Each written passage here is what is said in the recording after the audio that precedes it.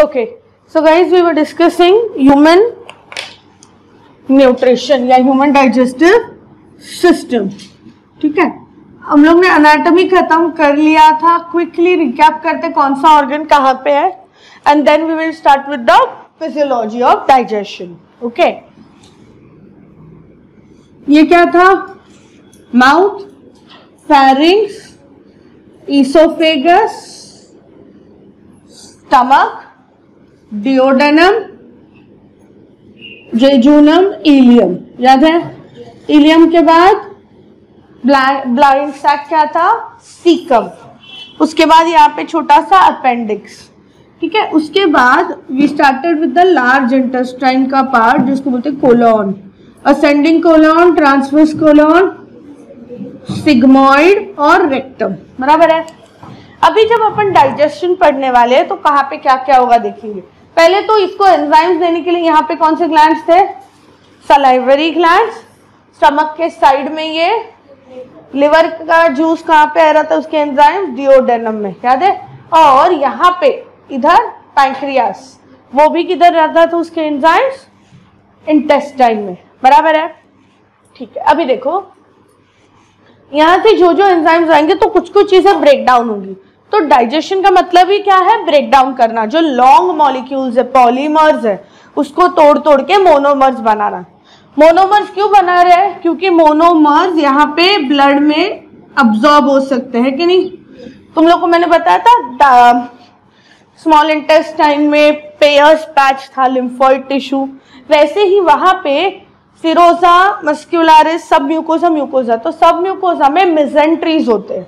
Mesenteries मतलब a group of blood capillaries तो तो फटाफट से सारी चीज़ें अब्जॉर्ब करेगा राइट तो सब अब्जॉर्प्शन होगा और ब्लड में जाएगा यहाँ पे बट तब तक अपने को यहाँ पे पूरा ब्रेक डाउन करना है। Easy way to remember mouth में स्टार्च ब्रेक होता है स्टमक में प्रोटीन ब्रेक होता है इंटेस्टाइन में सब कुछ ब्रेक होता है। इजी ऐसा करेंगे तो बहुत सिंपल हो जाएगा। अभी मैं तुम लोग को ना क्या करने वाली हूँ? टेबल फॉर्म में देने वाली हूँ। पहले डाइजेशन के दो कहते का? ठीक है, कई कड़क से कुछ भी नहीं समझ रहे तो प्लीज़ पूछो। So we start with today's topic digestion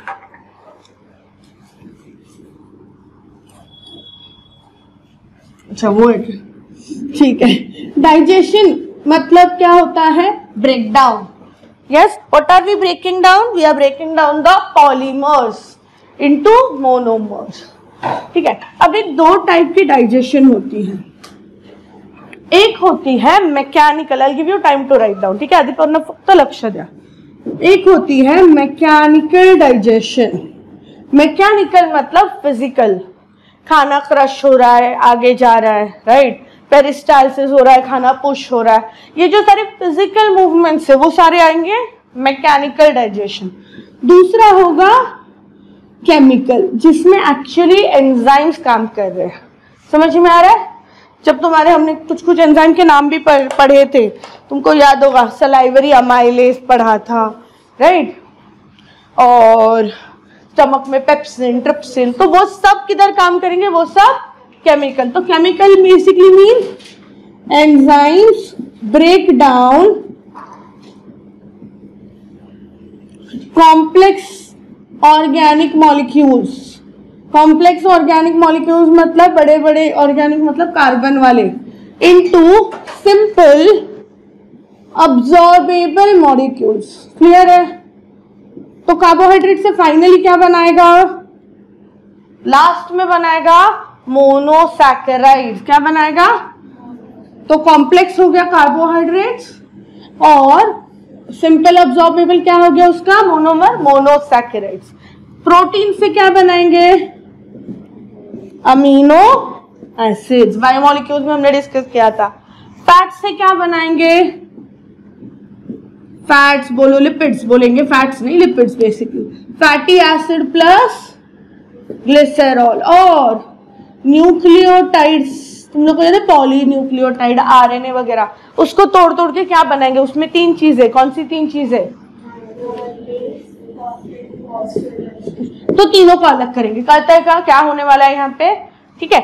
Okay now this we will discuss in detail but before that mechanical में क्या होता है? पहला माउथ में खाना जाता है। माउथ में खाने का क्या करते हैं हम? उसको क्रश करते हैं क्या नहीं? क्रश करना मतलब मैस्टिकेट करना। मैस्टिकेट करना। मैस्टिकेशन ऑफ़ फ़ूड होता है करता है। मतलब क्रशिंग और उसमें सलाइवा मिक्स हो रहा है एंजाइम्स मिक्स हो रहे हैं। बराबर? इससे बनता है बोलस बोलस क्या है? अपन जब चपाती का एक पीस खाते तो बाय द टाइम तुम उसको स्वॉलो करते हो ऐसा पूरा सर्क्यूलर हो स्पेरिकल हो जाता है। देखो एकदम गोल गोला हो तो। उसको बोलते हैं बोलस तो बोलस मतलब spherical soft mass of food any doubts समझा है फिर माउथ के बाद नेक्स्ट ऑर्गन कौन सा होता है? उसके बीच में कुछ है? तो नेक्स्ट ऑर्गन होगा फैरिंग्स फैरिंग्स में ये क्या होगा? ये स्वॉलो होगा। तो हम लोग क्या स्वॉलो कर रहे हैं? बोलस स्वॉलो कर रहे कहता है? स्वॉलो इनको बायोलॉजिकल नेम है। क्या है? इसको मैस्टिकेशन बोलते हैं। उसको स्वॉलोइंग का जो बायोलॉजिकल नेम है. That is called as deglutition Girna deglutition याद रहेगा? तो डीग्ल्यूटेशन कहा हुआ? उसके बाद नेक्स्ट ऑर्गन कौन सा है? ईसोफिगस ये सब मैकेनिकल में आ रहा है. समझते आता ईसोफिगस में क्या करेंगे? एक ही मूवमेंट कर सकता है वो. क्या करता है? पेरिस्टाइलिस राइट पेरिस्टाइलिस मतलब खाना नीचे नीचे पुश कर रहा है. तो यहाँ पे मैकेनिकल डाइजेशन में आया। एज इट इजी उसके बाद नेक्स्ट ऑर्गन कौन सा है? स्टमक स्टमक में क्या हो सकता है? चर्निंग क्यों क्योंकि उसमें कौन से मसल्स है? एक्स्ट्रा लॉन्जिट्यूडनल सर्कुलर सबके पास है स्टमक के पास। ऑब्लिक मसल्स है। इसके लिए पूरा खाना चर्न करेगा। चर्न करके यहाँ पे खाने को बोलेंगे काइन स्टमक में जब सेमी सॉलिड फ़ूड आता है, ठीक है, जो ब्रेक हो रहा है, उसमें एसिड डाल रहे बहुत सारा तो उसको बोलते हैं काइन कभी भी पूछा काइम तो वो किधर मिलेगा? काइम कैसा होगा? Acidic neutral basic very good क्यों? क्योंकि उसमें कौन सा एसिड ऐड किया हमने? एनी डाउट्स नेक्स्ट ऑर्गन कौन सा है? स्मॉल इंटेस्टाइन स्मॉल इंटेस्टाइन में फिर से क्या होगा? पेरिस्टालसिस और यहाँ पे अल्कलाइन चीज़ें मिक्स करेंगे। देखो, सबसे पहले लिवर का बाइल आता है। वो जो टाइम आया एसिडिक था, उसको न्यूट्रल किया। फिर पैंक्रियास और अल्कलाइन चीज़ें भेजता है। तो फाइनली पीएच क्या होगा? अल्कलाइन तो बाइल सिर्फ़ न्यूट्रल करेगा। पैंक्रियाटिक जूसेस उसको अल्कलाइन बनाएँगे। कहता है? कहता है क्या तो पेरिस्टालसिस हो रहा है और अभी ये जो काइम है, इसको बोलेंगे काइल। काइल एकदम लिक्विड ही होता है। काइम थोड़ा सा सेमी सॉलिड होगा बट काइल एकदम लिक्विड। और उसका पीएच कैसा होगा? Acid alkaline neutral easy it is alkaline in nature क्यों? क्योंकि उसमें क्या क्या आया? बाइल आया पैंक्रिया से, उसके ज्यूसेस और बाइकार्बोनेट आयंस आए। एनी प्रॉब्लम चाहिए तो यहाँ पे लिख दो। बाइल के और bicarbonate ions from pancreas any problem इधर तक सब समझा है। उसके बाद लास्ट कौन सा पार्ट होगा? लार्ज इंटेस्टाइन में क्या होगा? पेरिस्टाइलिस और फाइनली एनस में से बाहर फेंकेंगे, उसको क्या बोलते हैं? डेफिकेशन क्या बोलते हैं? मतलब पासिंग ऑफ़ अनडाइजेस्टेड वेस्ट पट्टी करना डेफिकेशन समझाए सबको? Did you all understand mechanical chemical अपन पूरा एक चार्ट में नेक्स्ट पार्ट में करते हैं. So write this down if you have not understood anything please tell me कोई भी वर्ड का मीनिंग नहीं समझा तो बताओ. Okay okay. अभी अपन सिर्फ़ केमिकल डाइजेशन पढ़ने वाले ओके okay? अपन टेबल फॉर्म में पढ़ेंगे तो बहुत सिंपल लगने लगेगा। You won't get any kind of, you know, there won't be any confusion. झालंय ना? बाकी आहे का नंतर घेशील लिहून पण त्याच्याकडून ठीक आहे चलो। Okay so we are going to discuss chemical digestion पहला चीज़ तो ऑर्गन्स कौन से एरिया में डाइजेस्ट हो रहा है? तीन जगह डाइजेशन मिलता है मेरे को। माउथ स्टमक और सबसे इंपॉर्टेंट डिओडेनम ठीक है जहाँ पे पैंक्रियास के एंजाइम्स आ रहे हैं। और डिओडेनम के बाद कौन सा पार्ट आता है? जेजुनम ठीक है तो जेजुनम में um, बचा हुआ आएगा। So what I do is write in two parts ठीक है डिओडेनम इधर मेनली काम करता है तुम्हारा पैंक्रियाटिक एंजाइम्स यस और फिर जेजुनम में देखो, तुमको याद होगा इंटेस्टाइन के खुद के एंजाइम्स थे राइट तो डिओडेनम के एंड में और जेजुनम में इंटेस्टाइन के खुद के एंजाइम्स काम करते हैं। इनको बोलते हैं, वो जूस को बोलते हैं सकस एंटेरिकस सकस एंटेरिकस मतलब इंटेस्टाइनल जूस, जिसमें इंटेस्टाइन के खुद के एंजाइम्स आएँगे। तुमको याद है मैंने बोला था डिओडेनल ग्लैंड्स आर सब म्यूकोजल होता है? तो वहाँ पे जो ग्लैंड है वो, और थोड़ा सा जेजुनम में, दोनों जगह पे इंटेस्टाइनल जूसेस आएँगे। इधर तक क्लियर है? स्टमक में किसके एंजाइम्स आएँगे? स्टमक के खुद के। माउथ में किसके एंजाइम्स माउथ के खुद के। ठीक है, ये पार्ट में कोई प्रॉब्लम है? चलो। सबसे पहले बात करते हैं कार्बोहाइड्रेट्स की। ठीक है? So let's start with mouth mouth में क्या डाइजेस्ट होता है?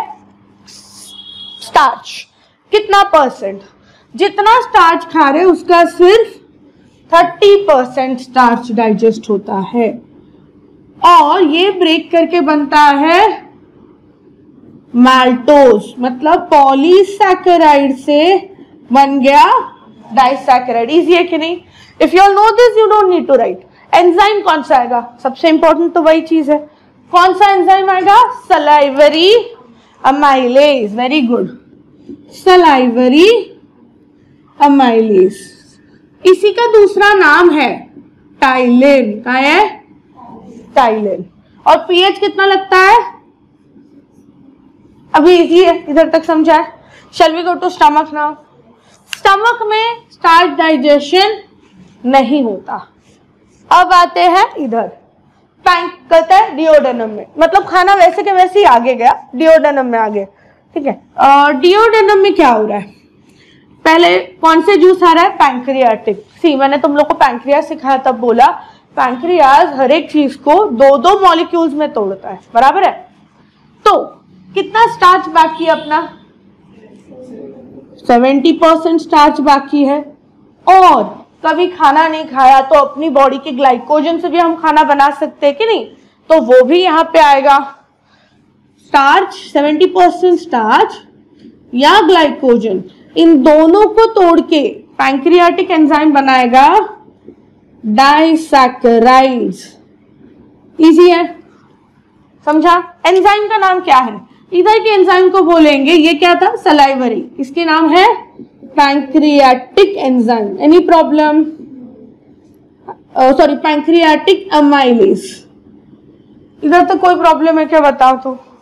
ठीक है, सारे जो केमिकल रिएक्शंस है I am doing I am taking all the reactions don't worry फ़र्क क्या है? ये एसिडिक पीएच पे काम करता है, ये अल्कलाइन पीएच पे काम करता है। अराउंड 8.6 टू 9 एनी प्रॉब्लम अभी गुड टिल नाउ अब आते हैं नीचे। नीचे क्या है? अभी डिओडनम और जेजुनम में बाकी इंटेस्टाइनल जूसेस आने वाले वो डाइसैकेराइड से क्या बनाएँगे? मोनोसैकेराइड कौन से तीन डाइसैकेराइड पता है अपने को? Maltose lactose सक्रो sucrose sorry maltose तो मैल्टोज को तोड़ के बनाएँगे ग्लूकोज प्लस ग्लूकोज कहता है क्या? एंजाइम का नाम क्या है? चलो नेक्स्ट लैक्टोज को तोड़ के बनाएँगे। वेरी गुड एंजाइम का नाम क्या है? सी इजी हो गया कि नहीं? अगर एनसीआरटी पढ़ा है तो बहुत कंफ्यूजिंग दिया उसमें। सगळं एकत्रच दिलंय। ठीक है लास्ट कौन सा है? कौन सा एंजाइम और क्या बनाएगा? Any doubt still your yes अपन एक पेज में बहुत इजीली सब कुछ कर देंगे। एनी प्रॉब्लम टिल नाउ कर रहा है? अभी नेक्स्ट डाइजेशन की तरफ़ जाए क्या? कि तुमको इतना लिखना है? एंड में पूरा लिखोगे? चलो परफेक्ट नेक्स्ट बात करेंगे प्रोटीन की। ये सब केमिकल डाइजेशन है? चलो नेक्स्ट बात करेंगे हम प्रोटीन्स की। हम्म let's start with first mouth में डाइजेशन होता है क्या? नहीं। कहा शुरू होता है? क्यों? क्योंकि स्टमक में क्या है? एच सी एल है। तो सबसे पहले पेप्सिनोजन जो इनएक्टिव था, उसको एक्टिवेट करके क्या बनाया? पेप्सिन एनी डाउट इसको एक्टिवेट करने के लिए क्या लगा? Very good and the pH is are we good clear चलो। पेप्सिन एक्टिवेट होता है। पेप्सिन किसको तोड़ता है? प्रोटीन क्योंकि ये प्रोटियोलाइटिक एंजाइम है। प्रोटीन तोड़ने वाला एंजाइम है। पता है? या प्रोटीएज एंजाइम है। क्लियर प्रोटीन से बनते हैं पेप्टोन्स प्रोटीओजेस म्हणजे काय? एग्ज़ाम्पल दे रही हूँ. अगर प्रोटीन में मेरे हज़ार मॉलिक्यूल्स है अमीनो एसिड के पेप्टोन्स में 300 500 छोटे होंगे. बेसिकली थोड़ा थोड़ा पार्ट कट हो रहा है. एंजाइम कौन सा लगा? यस yes, और एक एंजाइम बचा है जो बहुत इंपॉर्टेंट है. बच्चों में. क्या होता है बच्चों में? रेनिन होता है पता है? तो जो मिल्क प्रोटीन होगा I am just going to do one thing just increase the size चलो बच्चों में क्या होता है? रेनिन तो मिल्क में जो प्रोटीन है कीसीन सेसीन जो भी बोलो, उसको ब्रेक करता है और बनाता है कैल्शियम पैरासीसनेट और एंजाइम का नाम? रेनिन कितने एन डबल एन अभी क्लियर नाउ इसी हो गया। अभी खाना आगे जाएगा। आगे कौन है? डिओडनम डिओडनम में कौन सा जूस यहाँ पे पैंक्रियाज में एक एंजाइम होती है ट्रिप्सिनोजन मतलब इनएक्टिव है। ये एक्टिव होके बनेगी इसको एक्टिवेट करने के लिए। इंटेस्टाइन डिओडेनम में से खुद सकसेंट्रिकस में से आना चाहिए। एंटेरोकाइनेज एंटेरो मतलब इंटेस्टाइन काइनेज मतलब एक्टिवेट करेगा। तो ये कहाँ से आया? सकस एंटेरिकस से। कड़ा ट्रिप्सिनोजन ट्रिप्सिन ये भी सारे तुम्हारे कैसे एंजाइम्स है? प्रोटीएज एंजाइम्स है। प्रोटीन तोड़ने वाले। तुम्हारे बट फ़र्क क्या है? फ़र्क है पीएच का। इधर कितने पीएच पे काम कर रहा था? बट ये कितने पीएच पे काम करेगा? करता था इजी सल है। वेरी गुड चलो ट्रिप्सिन एक्टिवेट हो गया। फिर पैंक्रियाटिक जूस में होता है काइमोट्रिप्सिनोजन ये एक्टिवेट होके क्या बनाएगा? काइमोट्रिप्सिन क्लियर है? और एक्टिवेट करने के लिए कौन आया? ट्रिप्सिन ये एंजाइम इधर आ गई, समझता है? इसके बाद पैंक्रियाटिक एंजाइम में और एक है procarboxypeptidases yes procarboxypeptidases अगर इस मेथड से तुम कोई भी एमसीक्यू सॉल्व करो you will get every MCQ correct ये एक्टिवेट होके बनाएगा carboxypeptidases any problem any problem tell here इसको कौन एक्टिवेट करा इसको भी ट्रिप्सिन एक्टिवेट कर रहा है। करता है क्या? अब, ये तीनों activated enzymes protein peptones protein को तोड़ेंगे। और पैंक्रियास क्या बनाता है? दो दो के ग्रुप तो वो सब तोड़ के बनाएगा dipeptides I all understanding so ये सब इधर ही हो रहा है अभी तक। Yes you are still working in डिओडेनामोनी जगह थोड़ा सा गड़बड़ हो गया बट फाइन प्रोटीन्स, पेप्टोन्स, या फिर proteoses. You use anything they are going to give us very good dipeptides और कौन सा एंजाइम ये तीनों ट्रिप्सिन काइमोट्रिप्सिन या carboxypeptidases any problem now finally आएगा सक्सेंट्रिकस वो क्या करेगा? इसको तोड़ेगा सिंगल सिंगल मॉलिक्यूल में। प्रोटीन का सिंगल मॉलिक्यूल मतलब? वेरी गुड तो लास्ट में डाइपेप्टाइड्स से तोड़ के बनेंगे अमीनो एसिड्स उसका अब्जॉर्बेबल फॉर्म उसका मोनोसैकेराइड एंजाइम का नाम होगा डाई पेप्टिडेजेस कहता है क्या? Any problem till here did you all understand everything till now okay अगर किसी ने पूछा which of these are protease enzymes all these propepsin rennin trypsin ये सब ये सब क्या है? प्रोटीएज एंजाइम एंटेरोकाइनस प्रोटीएज है क्या? नहीं. कौन से पेप्सिन रेनिन और ये. पता है? पक्का? नहीं. कन्फ्युजन है? हा? परत एकदा सांगू? कोणता पार्ट पूर्ण सांगू? अच्छा मी लास्ट लाईन बोले ओके ते विचारतात की ह्याच्यातलं कोणता एन्झाइम प्रोटीएज है कौन सा एन्झाइम प्रोटीएज मतलब प्रोटीन तोड़ने वाला है तो pepsin rennin trypsin chymotrypsin carboxypeptidase समझा? ये क्वेश्चन आया था पीवाईक्यू में. Which of these are proteases या which are proteolytic any problem shall we go to fats yes no confusion at all next चीज़ होगी लिपिड्स लिपिड्स माउथ में digest होता है क्या? नो. स्टमक में डाइजेस्ट होता है क्या? Now is it easy to understand किधर से शुरू हुआ? एक क्वेश्चन आया था which food pass enter the stomach undigested बिना डाइजेशन के कौन सा खाना स्टमक में डायरेक्ट पहुँचा? प्रोटीन पहुँचे और करता है, चलो. आते यहाँ पे। यहाँ पे क्यों काम कर रहा है? क्योंकि वहाँ पे आया बाइल। याद है? बाइल में एंजाइम्स है? नहीं। बाइल में एक भी एंजाइम नहीं है। बाइल क्या करेगा? जो भी तुम्हारा ये लिपिड्स है, उसको इमल्सिफाई करेगा। लिपिड्स से इमल्सिफिकेशन होता है। इमल्सिफाइड फैट्स बनते हैं। मतलब क्या होता है? देखो पानी में तुम तेल, घी डालते हो तो डिजोल्व नहीं होने वाला है। इसके लिए यहाँ पे कुछ भी नहीं हो रहा था। बट जब लिपिड बाइल आता है बाइल वो फैट के छोटे छोटे मॉलिक्यूल्स बनाता है। अंडरस्टूड पक्का? ठीक है? तो ये काम किसने किया? ये फ़ंक्शन बाइल ने किया। Always remember bile has zero enzymes yes no confusion there चलो। सकसेंट्रिक इसमें कोई प्रॉब्लम है? अभी।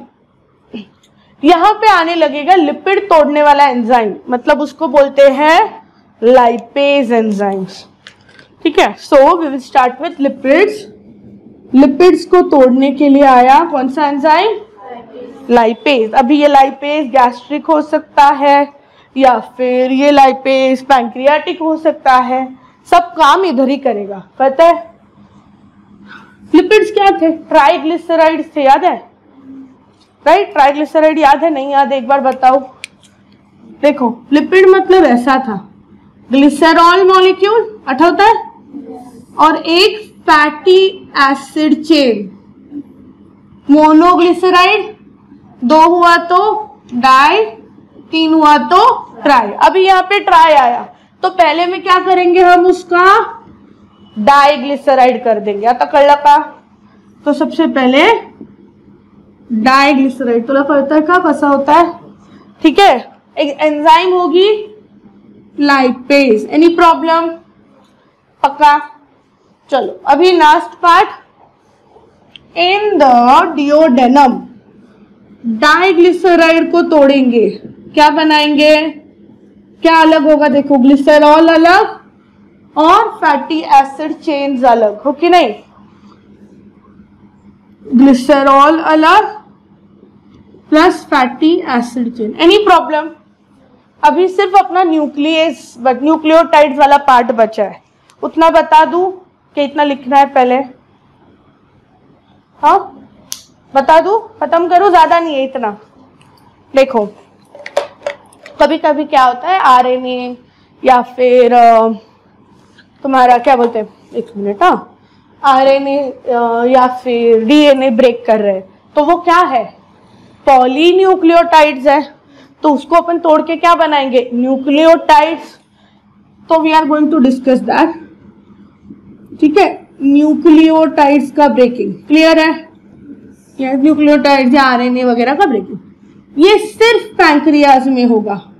तो अपने नोट्स में चाहिए तो अगर तुम्हारे बुक में जगह है ना तो माउथ के लिए डैश स्टमक के लिए डैश सिर्फ़ पैंक्रियाटिक मतलब डिओडेनम में होगा। कहता है ओनली इन डिओडेनम अभी देखो, सबसे पहले जो मेरा पॉलीन्यूक्लियोटाइड है, उसका मैं तोड़ के बनाऊँगी न्यूक्लियोटाइड मतलब पूरा जो चेन था, मेरा आरएनए का, उसके एक एक मैंने सेपरेट किए।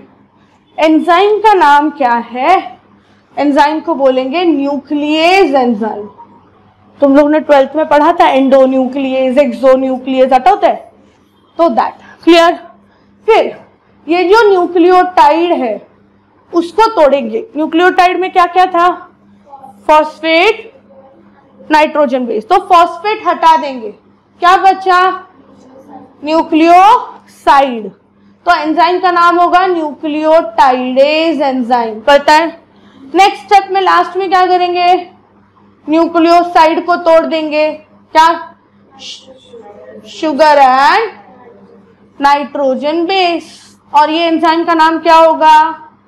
Nucleosidase all these are pancreatic enzymes any doubts? और ये सब डिओडेनम में ही काम होगा। खत्म। दैट्स इट पूरा फिजियोलॉजी खत्म किया। अपने ऑलमोस्ट दो, ढाई, तीन पेजेस है ये एनसीईआरटी के। Did you understand everything please write this down and कुछ भी नहीं समझा तो मेरे को पूछो। तुम लोग को अगर अलग अलग चार्ट बनाना है बनाओ but I think this is easier एक बार में हो जाता है। One minute one minute one minute हाँ डाइग्लिसराइड डाइग्लिसराइड से मोनोग्लिसराइड भी हो सकता है, या फिर पूरा का पूरा डाइग्लिसराइड ही सेपरेट होगा। Yes yes? और एंजाइम का नाम क्या है? दो मिनट हाँ। हम्म।